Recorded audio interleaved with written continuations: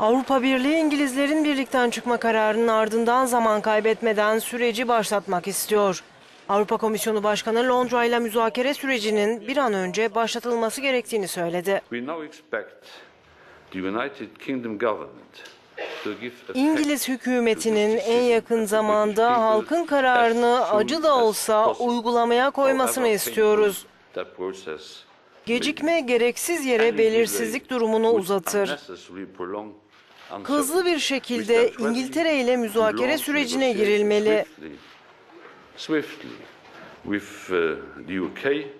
Avrupalı liderler diğer 27 üye ülkenin güvenlik ve ekonomik büyüme konusunda birlik ve beraberlik içinde hareket edeceğini belirtti.